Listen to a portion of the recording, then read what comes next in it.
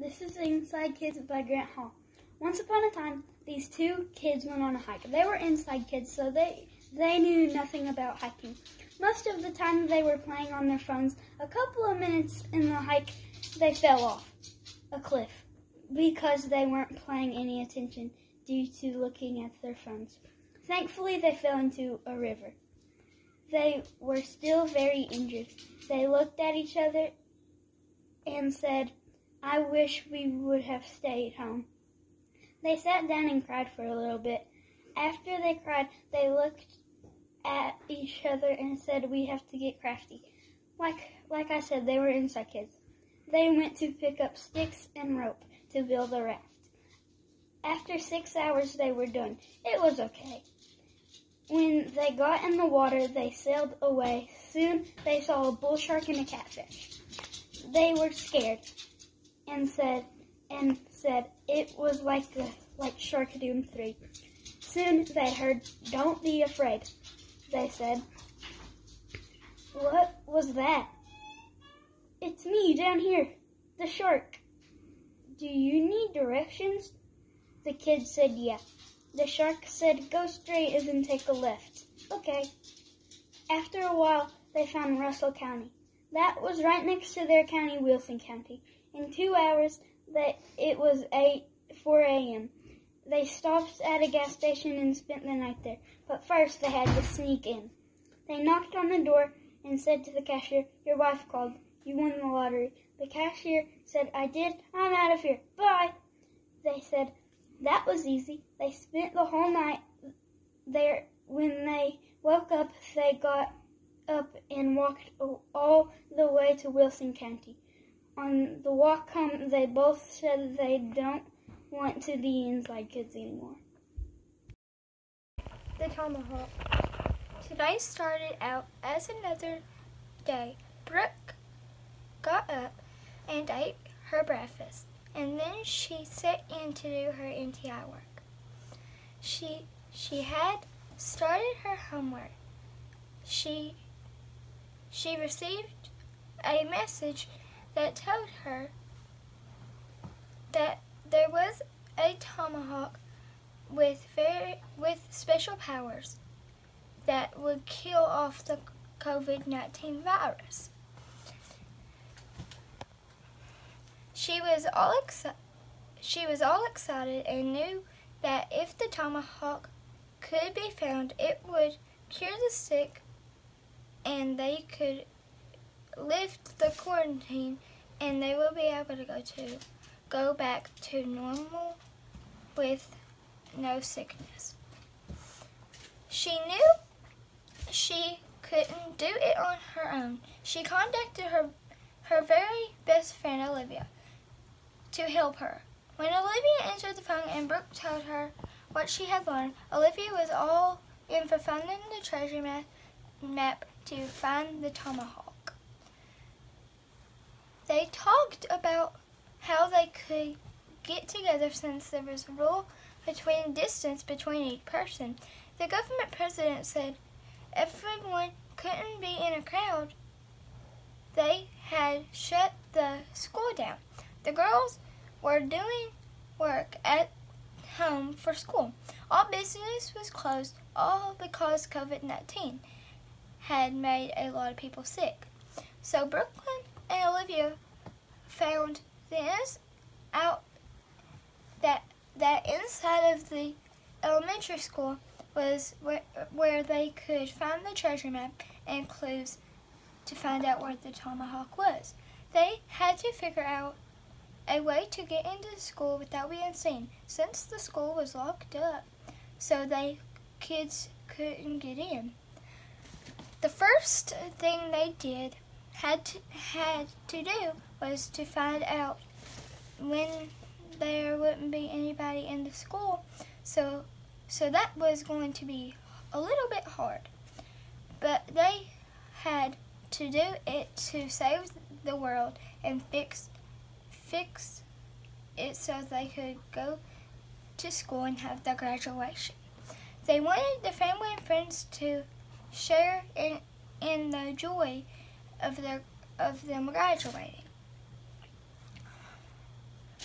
They wanted their family and friends to share them graduating, to watch them walk down to receive their diplomas.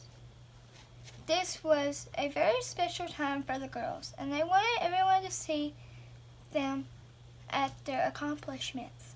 The time had come that Brooke and Olivia to go to the school. They had arranged to meet the meet outside the school at the back door, where it wouldn't be seen off the road. Both of them wore dark clothes and a light wouldn't glow on their clothes. They hadn't seen each other in a month now.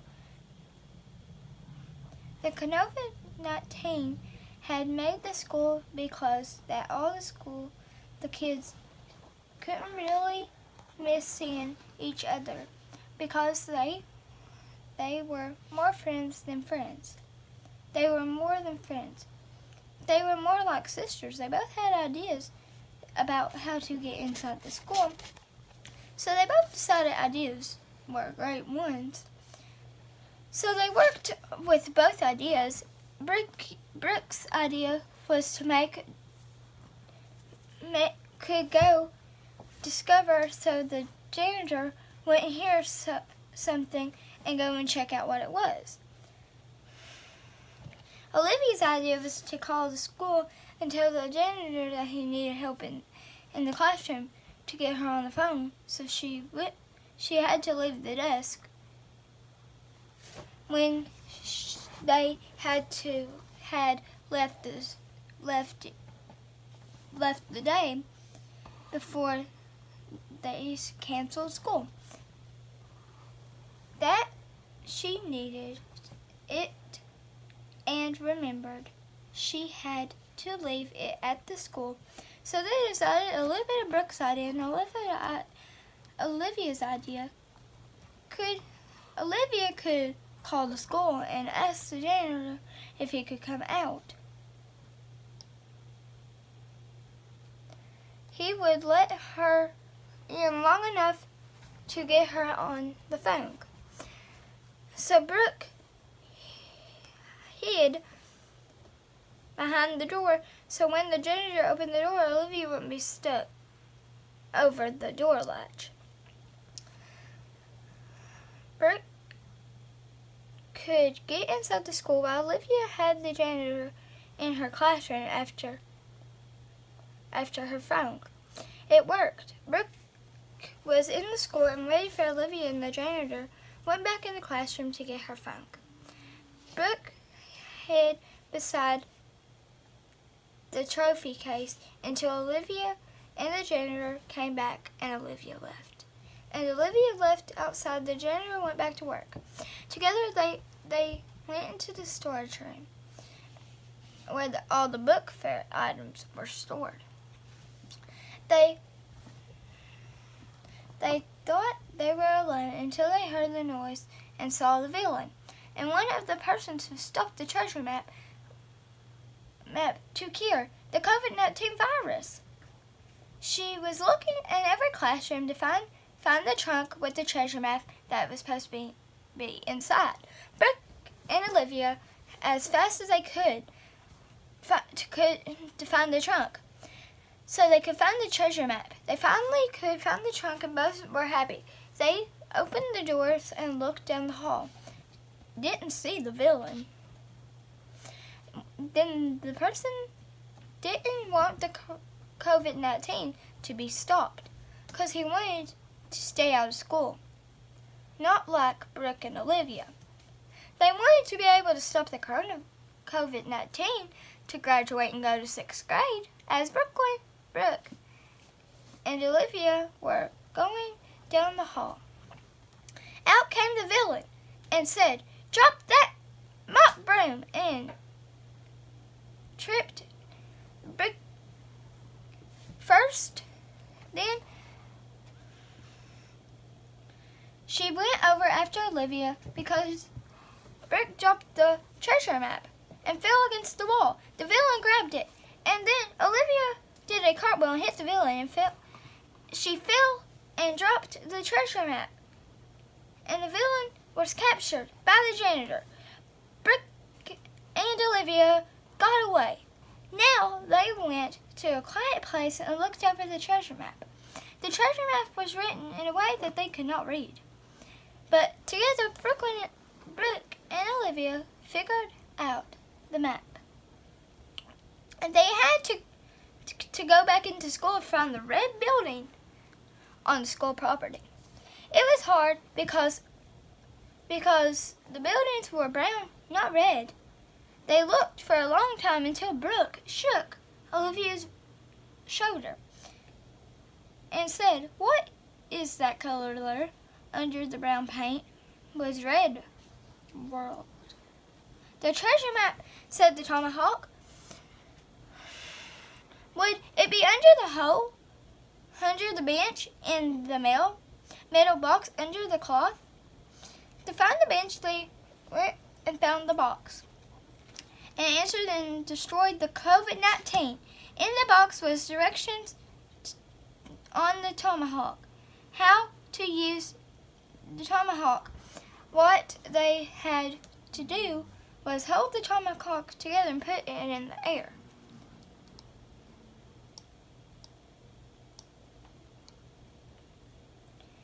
Their strong friendship would power up. Brooke and Olivia played together and God gave them strength to save the world. But together they locked their hands around the tomahawk and felt the tomahawk's power up and lifted it into the air and watched the power got stronger and it set, set off and the ray of light that covered the whole world. The power of the friendship saved the world. All the sickness was was were healed and the COVID-19 was gone. The news from governor came the next day that something had some happened that all the sick people was healed and there was no more virus. That no all the places could open and the children could go back to school. The kids were excited. The villain wasn't. She had been inter interested for breaking into school. Friday came. All the kids got got to have their graduation and hope for everybody. And the governor and the president was proud of Brooke and Olivia for their job they had done for the tomahawk. The tomahawk was put in a safe place. No one would know ever be able to touch it. Everything was back to normal and there was no more sickness. The end, written by Brooklyn Snowden in fifth grade. My name is Madeline McIntosh Sawyer. I'm the daughter of James and Mary McIntosh. And this is a true story that Daddy and Mommy told me years ago that happened back in 1952, not long after they got married, and they lived in a really small little house over in a holler. And this is what they told me, and this is what it was like. It was a cold winter morning back in 1952 with a heavy white snow on the ground. Blankets of white snow covered the pine trees and the old apple tree in the yard, and mountains of snow covered the fruit trees in the orchard. The creek ran down the holler was frozen over with heavy snow and ice of winter. Nothing in the yard at the barn was moving. You could see the steam coming from the horse and the cow's nostrils as they came out of the barn into the morning blanket of white. The rooster crowed once or twice, but no need for more. Nothing at the barn or on the farm was moving that morning. The wind blew and the sun shined bright and glistened on the fresh layer of snow. It seemed as if time was standing still and the whole world was frozen. In the little three room country house, James was up at the break of dawn putting coal and wood in the old heating stove. He had been up several times throughout the night putting wood in the stove to keep plenty of heat in the small three room house. The old shingled roof had held up really good in the heavy snow, and the windows were frosted over with frost so thick you couldn't see out of them. Scraping the frost from the inside of the window and looking outside made him realize that winter had made it up the holler and into the little house that sat near the creek. James had reached for his old overalls that hang on a nail on the wall along with his flannel shirt. He put on his good warm socks and shoes that he had set by the old wood heating stove the night before. Patches on the knees of his old overalls didn't bother him none. They only made them warmer. One piece thermal underwear clung tightly to his body for extra warmth he needed to go out and face the cold winter morning. His wife Mary crawled out from under the good warm covers of her homemade quilts.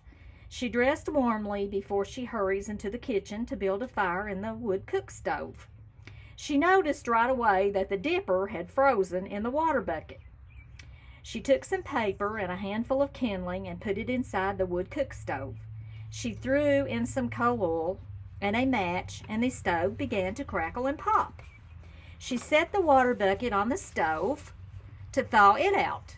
She put the coffee pot on to boil fresh hot coffee to get the day started right. She threw her boots on and headed out to the smokehouse.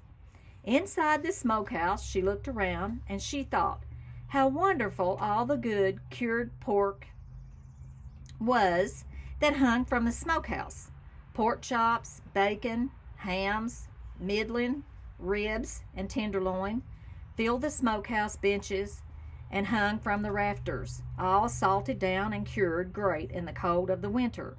She thought, whatever was she going to choose from since she had so much wonderful to choose from? But since it was so cold, she decided to choose the easiest thing to get.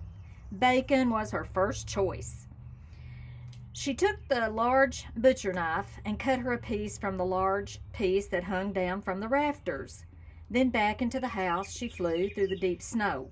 She sliced the bacon and laid it into a cast iron skillet to fry on top of the old cook stove that had the whole kitchen warm.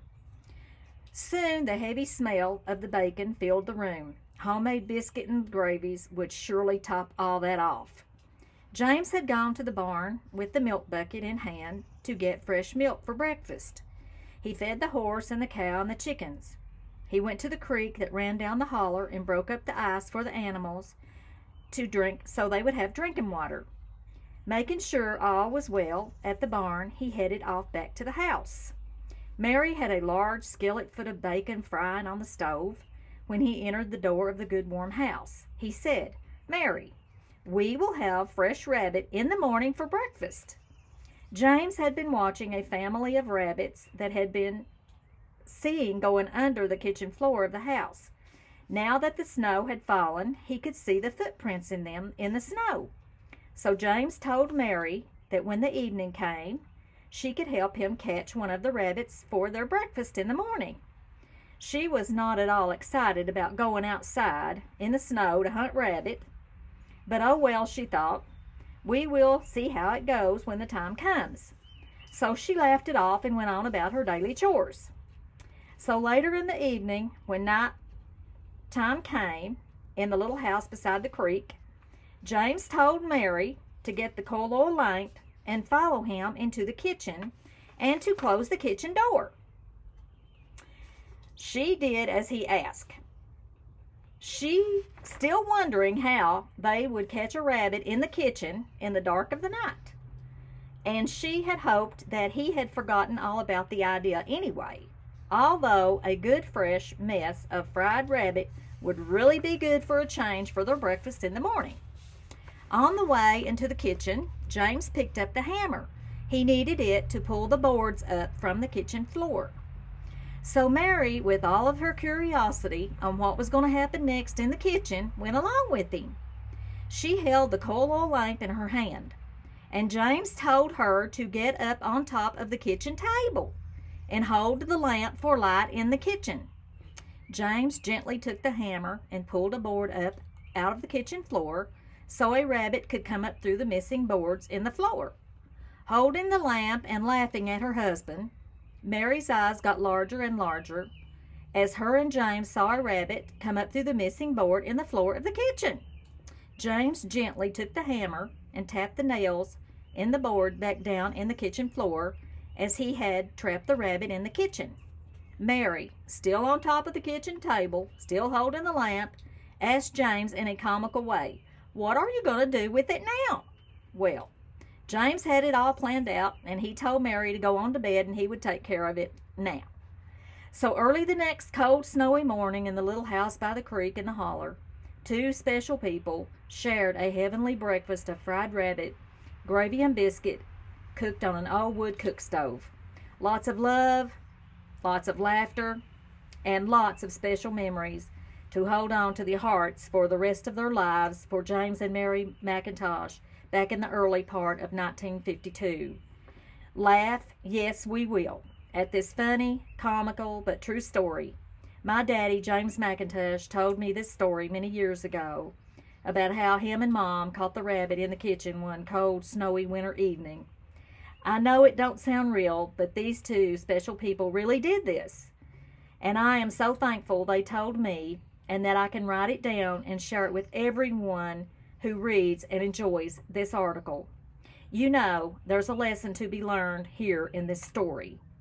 Never give up, never back down if you want something bad enough. With lots of love to both my parents, who are James and Mary McIntosh.